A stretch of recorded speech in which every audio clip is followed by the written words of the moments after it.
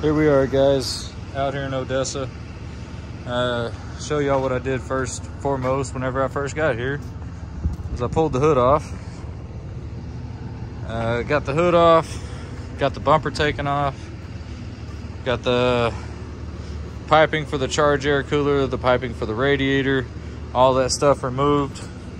I got the radiator set over here to the side with the charge air cooler condenser everything on it already I did recover the Freon out of it, cap the plug or cap the, the lines so dirt don't get into it. Then pulled the engine. So here's the engines here. Of course, as you could probably tell, this is the old one. This is a new one.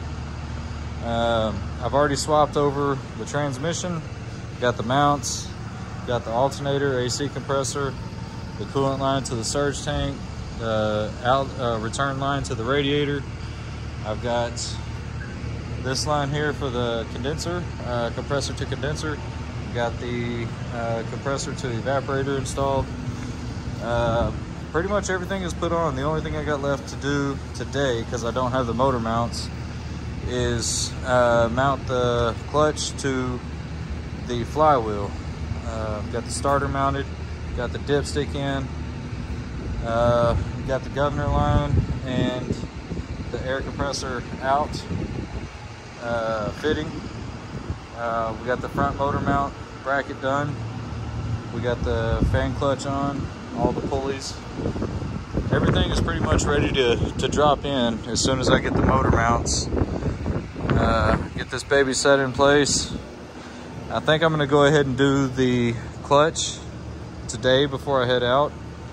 Um, I also got to get this fitting and this fitting, which they have an update for those, uh, PACCAR does, to brass instead of this plastic.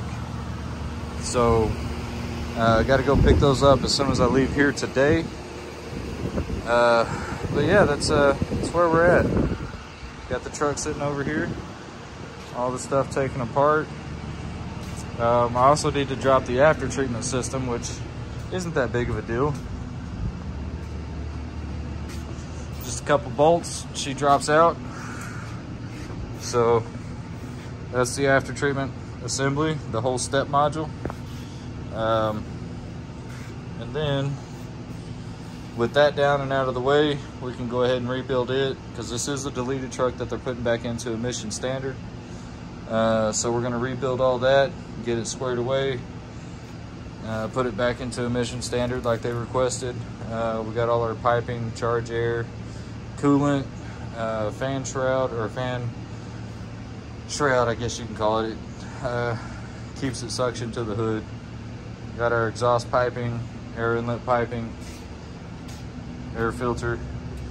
So, yeah, coming along pretty good got done, got it out a little faster than I thought I would, but pretty fun.